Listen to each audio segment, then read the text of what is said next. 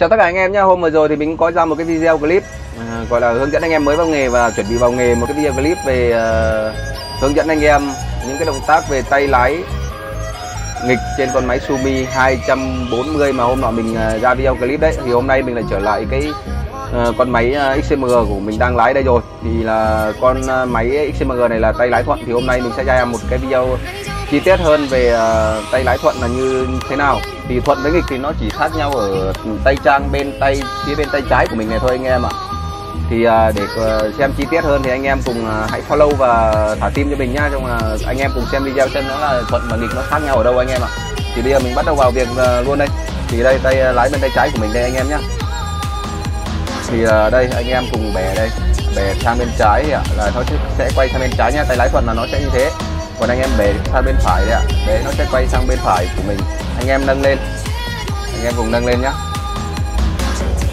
Đấy, nó sẽ vào cái tay gầu này anh em nhá. Đây. Còn anh em bẻ ra thì nó sẽ ra cái tay gầu này anh em nhá.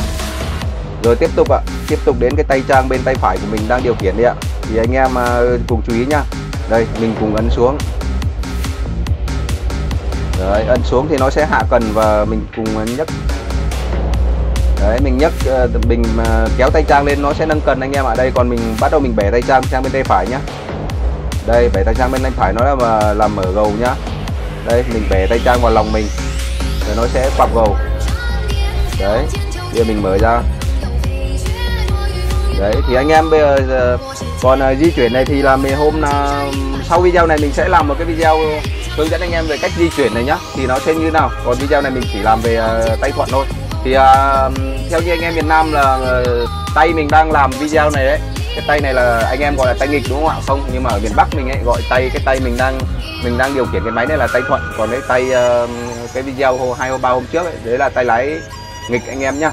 Thì uh, chúc anh em xem video vui vẻ và follow thật là nhiều cho mình nhá để mình có động lực ra những video nhiều hơn anh em ạ. Cảm ơn tất cả anh em đã xem video clip của mình nhá.